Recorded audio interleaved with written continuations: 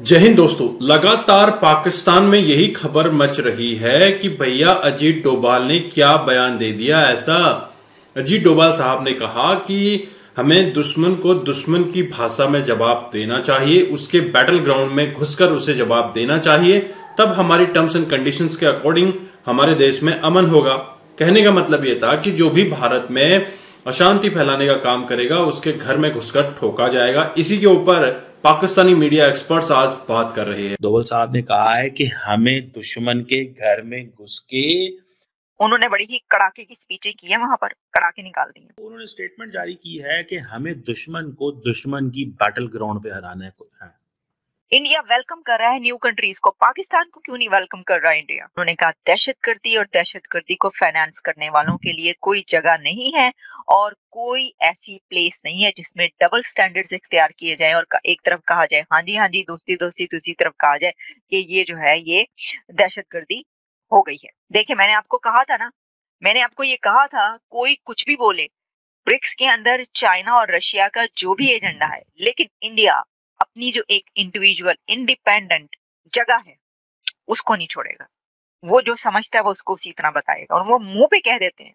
बड़ी से बड़े प्लेटफॉर्म पर मुँह पर कहते हैं कि हम ऐसा समझते हैं। इंडिया वेलकम कर रहा है न्यू कंट्रीज़ को। पाकिस्तान को क्यों नहीं वेलकम कर रहा है इंडिया? भारत के NSA national security adviser Ajit Doval साहब जिनके बारे में आपको पता है, मैं अक्सर ये कहता रहा हूँ कि he is basically you know eyes and ears of prime minister Modi वो बंदा है जो सोचता है प्लान करता है नेशनल सिक्योरिटी डोमेन में। दोवल साहब ने एक स्टेटमेंट जारी की है that is directly not about Pakistan but indirectly about Pakistan. वो, उन्होंने स्टेटमेंट जारी की है कि हमें दुश्मन को दुश्मन की बैटल ग्राउंड पे हराना है हमें दुश्मन को दुश्मन की बैटल ग्राउंड पे हराना है, तब जाके अमन होगा। तब जाके अमन हमारी कंडीशन पे होगा। वो पाकिस्तान की बात कर रहे हैं। एंड पाकिस्तान में जब वो बात करेंगे दोवल साहब कहते हैं कि हमें दुश्मन की बैटल ग्राउंड में जाना चाहिए। दुश्मन की टर्फ पे जाके खेलना है। सो वो पाकिस्तान की बात कर रहे हैं। Whose is interest is it to target Hafiz Saeed तो क्वेश्चन ये है कि uh, जो दोवल साहब बात कर रहे हैं वो कह रहे हैं दुश्मन के अंदर जाओ। सो इट मीन्स कि target Hafiz Saeed inside the territory इसके ऊपर वो आजकल काम कर रहे हैं। ये है बेसिकली वो माइंडसेट जिसके ऊपर इंडियन गवर्नमेंट इस पर काम कर रही है। और जयशंकर साहब भी यही कह रहे हैं कि मोदी और शी जिनपिंग की मुलाकात तभी हुई है जब डिसंगेजमेंट हुई है। हमने वो हालात पैदा किए कि मुलाकात तब होगी जब ऐसे होगा। सो so, इंडिया जो है मैं एक बात बताऊँ आपको the level of clarity and foreign policy the way doctor Jaishankar speaks मुझे ये बात बड़ी अच्छी लगती है कि at least a person is speaking हमारे लीडर हमारे फॉरेन मिनिस्टर तो बोलते ही नहीं है यार. इंडियन इंडियंस अपनी गवर्नमेंट की फॉरेन पॉलिसी के हवाले से लंबा बोलते हैं. आप जयशंकर को देखें, हर हफ़्ते, दूसरे हफ़्ते वो कोई ना कोई पॉलिसी स्टेटमेंट जारी कर रहा होता है. आज वो कनाडा को भी टारगेट कर रहे हैं दोबारा. वो कहते हैं, जी, हम रिजेक्ट करते हैं. जिस तरह कैनेडियंस ने हमें, हमारे हाई कमिश्नर को टारगेट किया तो मुझे ऐसा लग रहा है कि इंडियंस अपनी स्टेटमेंट्स जारी कर रहे हैं दड़ा दड़ बोल रहे हैं, अपना मौकफ दे रहे हैं और हमारे जो लोग हैं, या तो ये बिल्कुल ही फिक्स हो जाते हैं। बहरहाल ये जो दोवल साहब ने और उन्होंने बात की है, मेरे लिए ये बड़ी इंपॉर्टेंट बात है भाई। I I give it a lot of value Doval साहब ने कहा है कि हमें दुश्मन के घर में घुस के चीज़ें मैनेज करनी है। तब जाके पीस हमारी टर्म्स पे आएगा। ये जो आज पाकिस्तान कह रहे हैं ना हम बात करना चाहते हैं इंडिया कहता है हम नहीं करना चाहते बिकॉज़ उनको पता है कि हमने पाकिस्तान को घर में इंगेज कर लिया हुआ है। तो इसलिए इंडिया की टर्म्स में अब बात होगी। This is what is saying So obviously, India, you know, is a national security advisor of India. The Prime Minister Modi has put all resources at his disposal. और अब एक रियलिटी हो गई है तो हम अपने उस उस हिसाब से जी सकते हैं जैसे कनाडा अमेरिका है ऑस्ट्रेलिया न्यूजीलैंड है। इस तरीके की ज़िंदगी जी सकते हैं हम। आपका क्या राय है इस विषय में?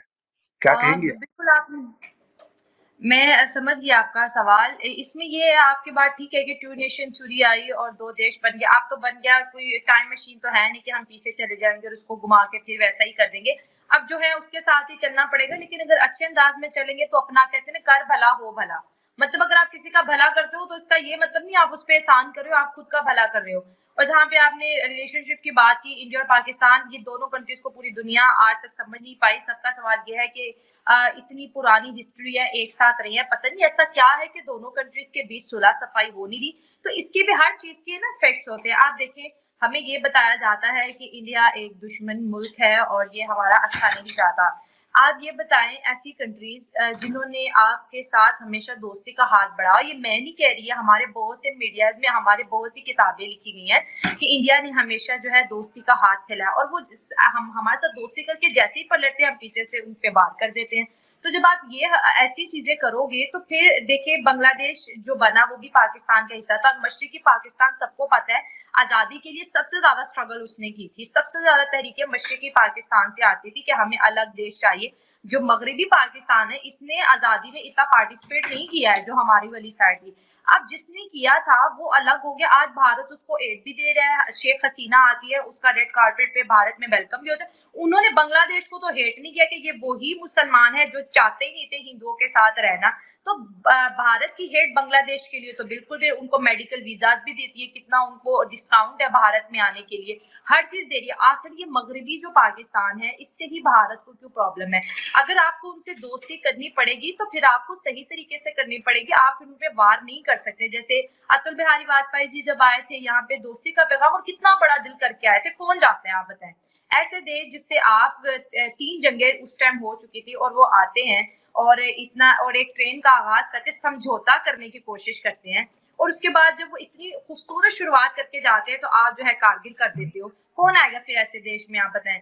और जब आप किसी को बार बार बार बार प्रोफेसर साहब, आप किसी को जिज करते हैं, किसी को टॉर्चर करते हैं वो कभी आपको दोस्त नहीं बनाएगा। बेशक मैं कितनी ही अच्छी हो जाऊँ, लेकिन मैं उस पाकिस्तान में रहती दोस्तों, आपने कमर चीमा साहब को सुना। उनकी जो चिंताएँ थी, उनकी माथे पे साफ़ दिख रही थी। दरअसल वो कह रहे थे कि अजीत डोभाल का जो बयान आया है, नेशनल सिक्योरिटी एडवाइजर, जो कि मोदी के ईयर एन आई है, इनका बयान आना बहुत बड़ी बात है। क्योंकि ये पूरे देश को संभाल रहे, पूरी नेशनल सिक्योरिटी का जिम्मा इनके ऊपर है और ये अगर इस तरह की बात करते हैं तो कहीं ना कहीं हाफिज सईद के ऊपर कुछ होने वाला है। अब हाफिज सईद को लेकर पाकिस्तानी इतने पॉजिटिव क्यों है? क्योंकि पाकिस्तान आतंकियों का गढ़ है। पाकिस्तान में आतंकी पाले पोसे जाते हैं। जिस तरह से कतर के अंदर आप देख रहे हैं, आजकल पूरी दुनिया में जितने भी टेररिस्ट ऑर्गेनाइजेशन हैं, उनके ऑफ़िस बने हुए हैं। बाकायदा एक मीडिया चैनल आई थिंक उसका नाम अल जजीरा ये चलाया जाता है और उसके थ्रू सारी इंफॉर्मेशन फैलाई जाती है और इसी के चलते उनका धंधा चल रहा है। हालाँकि ऑफ़िस हैं और उसको फिर कवर करने के लिए मीडिया चैनल भी है। इसी तरह से पाकिस्तान आतंकियों को छुपाता है और फिर उसके लिए पैसा लेता है।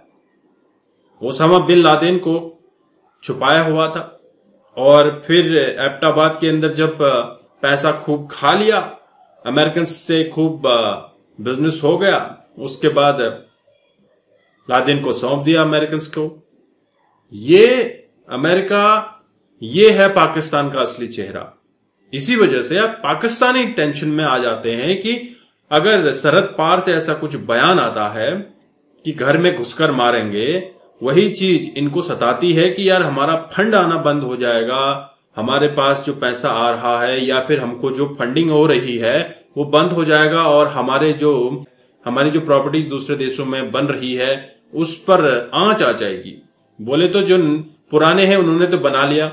जो नए आए हैं, खाऊ लोग, वो फिर से कोशिश करते हैं कि पैसा लेकर फिर शिफ्ट हो जाए, उसके पीछे फिर नई लाइन शुरू हो जाती है। इस तरह से पाकिस्तान का कारवां चल रहा है और जनता की बैंड बजी हुई है। जनता बिल दे देकर परेशान है। जनता कभी बिजली के बिलों को लेकर इस्लामाबाद में प्रोटेस्ट कर देती है। कभी सिंध प्रोविंस में प्रोटेस्ट हो जाता है। कभी बलूचिस्तान वाले आ जाते हैं कि हमें हमारे हक हुकूक दो। और बीएलए आर्मी वहाँ पर एक अल्टीमेटम जारी कर दी है कि निकल जाओ हमारे एरिया से। ये सब चल रहा है पाकिस्तान के अंदर। पीओके में अपना अलग ड्रामा चल रहा है। सिंध प्रोविंस में अपना अलग ड्रामा है। खैबर पख्तून एरिया में अलग सर आपका ड्रामा चल रहा है। और दोस्तों, ये तब तक होता रहेगा जब तक पाकिस्तान की सियासत या पाकिस्तान की स्टैब्लिशमेंट खुद अपने लोगों के लिए सोचती नहीं है। जब तक सियासत या फिर स्टैब्लिशमेंट में बैठे हुए लोग अपने लिए सोचेंगे, तब तक पाकिस्तान का कुछ भी नहीं हो सकता। जब टॉप पर बैठे हुए लोगों ने अपनी अवाम के लिए सोचना शुरू किया, तब पाकिस्तान आगे बढ़ सकता है। आपके क्या विचार हैं? कमेंट ज़रूर कीजिएगा।